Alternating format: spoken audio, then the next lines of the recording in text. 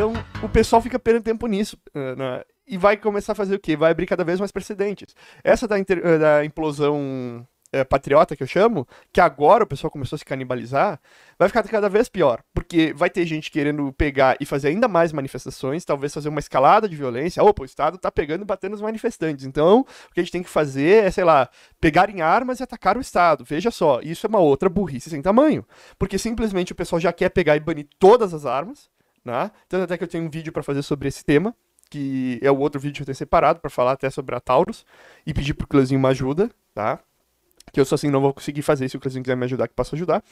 Uh, o pessoal vai pegar e vai fazer o seguinte: ah, pela segurança nacional, olha o que está acontecendo, nós vamos ter que banir tudo. Vamos ter que pegar e revogar tudo. Vamos ter que pegar e tomar tudo de todo mundo. E daí o pessoal vai fazer o quê? Daí vai, fazer, vai reclamar como? Né? Cara, não, não, não existe essa. Se o pessoal, eu até brinco com a galera, se era para fazer manifestação como fez agora em Brasília, né? Não era para fazer com a esquerda no poder. Isso daí é pretexto pra esquerda te foder. Tu faria isso daí quando tava o Bolsonaro. O Bolsonaro ia pegar e foder vocês, os patriotas, ele ia pegar e ferrar todo mundo? Não. Não seria usado como pretexto para escalar da violência. Não seria usado dessa forma, provavelmente. Aí ia ter a, a mídia enchendo o saco? Ia. Mas não ia ter nada assim de absurdo ocorrendo, uh, ocorrendo de uma forma tão generalizada. Agora, vocês imaginam? Vocês imaginam o que, que o Xandão vai fazer segunda-feira? Cara, aquela caneta lá vai estar tá pegando fogo, o martelo vai estar tá dentro da cabeça de todo mundo, cara. Vai ser preso uma galera. O pessoal vai usar isso daí para quebrar sigilo de um monte de empresário, vai correr atrás dessa galera. Eu já falei para vocês, já tá ocorrendo a tentativa de perseguir essa galera. Vocês só estão dando mais munição pra esquerda. Quem tá pegando e defendendo isso daí, olha, vai se ferrar feio. Eu já tô avisando faz tempo. Cara, sabe o que, que tem que fazer agora? Né? Sabe que tem que ser feito agora por qualquer pessoa que não está envolvida nisso daí, que está notando o problema, né? Porque vai, o patriota é patriota, vai ser patriota até morto, né? Quem está notando esse problema, a coisa que tem que fazer agora, ao meu ver, é as malas. Por quê?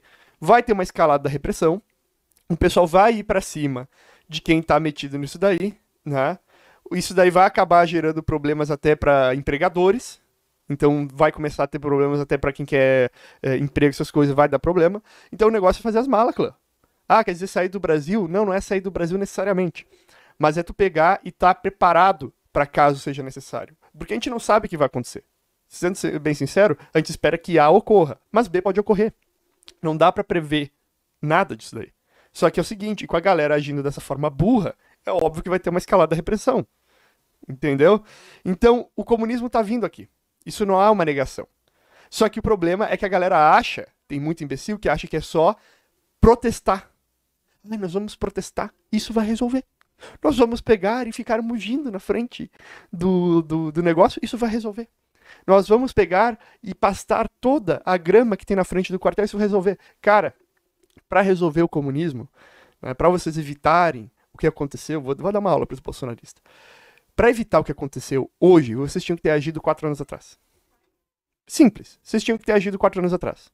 Mas foi, aconteceu o quê? O Jair Messias Frouxonaro foi afrouxando. Cedeu aqui, cedeu ali, tal coisa aconteceu, ele cedeu, cedeu naquele cantinho, né? Cedeu aqui, cedeu ali, e o que aconteceu? Perdeu. E daí quando perdeu, não deu o que ele queria fazer, ele mesmo falou na última live dele, dizendo assim, só não admitiu porque eu vou picar, mas dá a entender que, ó, tudo aquilo que vocês queriam que eu fizesse, eu tentei não deu certo, então tchau, né? Uh, é simples. E o pessoal acha que daí agora que eu tô falando pra vocês, façam as malas e, e se preparem, você e a sua família, e quem você se importa se prepare, você acha que o pessoal vai achar que eu tô sendo contra o comunismo. Não, eu tô falando para você o seguinte, o comunismo vai fazer o quê? Vai expropriar seus bens, vai te colocar numa situação que é basicamente um escravo. Né? O que eu estou falando para você é, seja um pouquinho mais ligeiro, liquide seus bens e se prepare para sair se você puder. Por quê? Porque se tu não fizer isso, tu vai estar tá ajudando a financiar esse sistema, né? Então não interessa, pessoal, não interessa essa briga que o pessoal está fazendo. Tudo isso vai ser usado contra.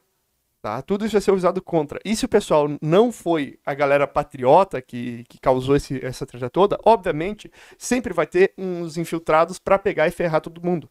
Porque o que, que vai custar? Meter uns, sei lá, uns 40, 50 infiltrados numa manifestação de algum, algumas milhares, né?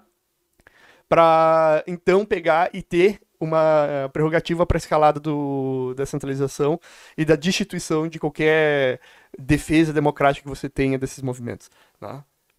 É sério, pessoal, é sério. É uma burrice tão grande. O Lula já pegou e declarou isso pro Distrito Federal. O que, que vocês acham que, por exemplo, sei lá, começou a ter manifestação em Mato Grosso do Sul e Mato Grosso, que tá, que tá pegando pesado lá. Tipo, pegando pesado não de tiroteio, coisa mas estão paralisando tudo quando querem. O que, que vai acontecer? Vamos chegar pros governadores e falar: Ó, oh, vocês aí que são bolsonaristas, para com essa merda. Vocês têm que parar com essa merda. Ah, não vai parar? Beleza. Tá aqui assinado.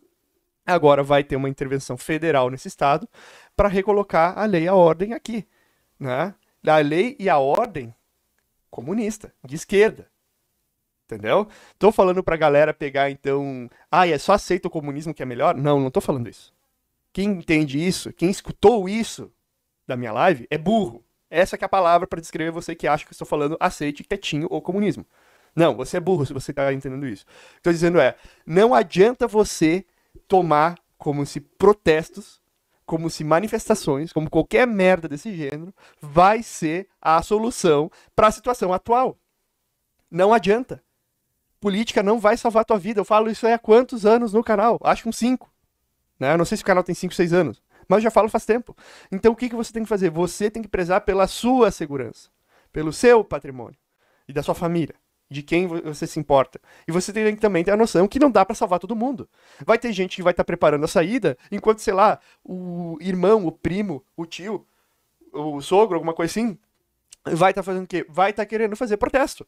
Então o que, que essa galera tem que fazer? Tu tem que pegar e deixar que essa galera venha logo o caralho voador e dê no meio do cu desse cara para ele pegar e acordar pra realidade e falar: Nossa, eu tinha que estar vazando esse país faz três meses. Entendeu? É isso, cara. É isso. Infelizmente não existe. Vocês vão tentar discutir com, com, com essa galera, não funciona. Não funciona. Eu já tentei. Não funciona. Essa galera não está disposta a pensar. Eles estão dispostos a reagir como eles acham que tem que ser. E eles reagem de acordo com o pessoal pega e empurra eles. Sabe aquela. O pessoal que tem aqui no. Que é membro tem a. Aqui é o marcador de gado, né? Que tu dá espeta o gado. Eles estão reagindo a isso. Estão escorrendo porque estão levando choque. Estão correndo para o lugar que o pessoal quer para ir para o batedor. E não estão notando. Né? O pessoal tá tudo operando dentro das quatro linhas da cerca. Mas não estão notando o problema. Entendeu? E o pessoal fica nessa história. Ah, não, a gente vai pegar e resolver isso aqui com protesto. Protesto, pessoal, protesto. Ele só é utilizado como um referencial histórico. Protesto aconteceu para todo canto. Protesto aconteceu pró-governo, anti-governo, né? Protesto aconteceu e mudou a história, protesto ocorreu e foram eh, destruídos. Aconteceu para todo canto. Vocês podem ver isso daí. E o que aconteceu? Tu acha que na China não tem protesto contra o governo chinês, pessoal? Ah, mas o protesto serve. A China tem protesto contra eles. Na União Soviética tinha protesto. Em Cuba teve protesto. E aí? Mudou? Né? Mudou, a gente tem, a gente tem um Bolsonaro cubano, um, não, não mudou nada. Então é isso. Vocês têm que se proteger. Então, como é que se protege? Se protege blindando teu patrimônio, né? Se protege com criptomoeda, tu se protege não deixando coisas na mão de serviço estatal, seja segurança, seja judiciário, né? Então, tipo, utilize arbitragem, utilize segurança privada. Ah, mas os meus bens aqui são em risco de serem invadidos, a minha empresa tem risco de ser fechada, o que, que eu faço tem risco de ser regulado e eu vou pegar e falir. Então, se você já está vendo que isso está para acontecer, você se fuder, então você faz o quê? Você abre mão agora. Vai perder um pouquinho? Tipo, ah, vou perder, se eu pegar e vender tudo agora da forma que tá, pá, eu vou perder 50% do que eu tenho e vou conseguir liquidar o resto. Então, é bom tu ter 50% de tudo que tu tem, né, se tu precisar, do que 100% de nada lá na frente. Entendeu? Que vai sobrar para quem não se prepara é as lágrimas, porque quem não se prepara, se prepara para falhar, entendeu, clã? É simples isso aí. Cara, segunda-feira. Segunda, olha, se vocês achavam que nessa última semana o PT já saiu passando a vara em todo mundo, clã, vocês achavam que entre o dia 1 e o dia 7 o PT já fudeu a galera toda, estoura, eh, falando que teto de gasto é, não vai ser feito, vão voltar a privatização atrás, revogaram um monte de coisa dos decretos criminosos do Bolsonaro sobre armamento, fizeram um monte de coisa. Se vocês acham que essa primeira semana foi ruim, calma que tem o resto dos quatro anos. Tá? Calma. Calma. Esses, eu já falei para vocês, esse primeiro ano esse primeiro ano do governo vai ser só o governo limpando a casa. E essas intervenções federais vão ser justamente para isso. Vão ser justamente para pegar o quê? Vai, pra, vai pegar pessoas em pontos chaves que eles acham ou veem que tem conexão com o Bolsonaro, vão conseguir pegar e produzir todo um inquérito contra essa pessoa. E vai acontecer basicamente o que está acontecendo nos Estados Unidos hoje, com aqueles, uh, aquelas investigações que está tendo pelo Congresso sobre o 6 de janeiro. Só que aqui vai ser feito, talvez, sobre o, uh, vai ser feito pelo STF, em grande parte. Então, pessoal, vocês têm que entender isso. Não existe solução política. Fower, Europa ou Estados Unidos? Para onde é, dar fuga? Europa tá ferrada, Estados Unidos também. A fuga é só tipo retire os seus bens de uma jurisdição específica. Mantenha-se em uma forma que tu não consegue ser confiscado, tão fácil, né? Que tu não vai pegar e tá numa posição de vulnerabilidade, e se tu quiser pode ficar até na América Latina, pode ficar no Paraguai, Uruguai, Argentina, alguma coisa desse gênero. Ah, mas for, você está falando da Argentina, que absurdo. Cara, se tu é programador, por exemplo, se tu tem renda à distância, e tu não vai comprar coisa na Argentina, só vai alugar uma coisinha e tudo mais e morar lá, é baratíssimo tu fazer isso.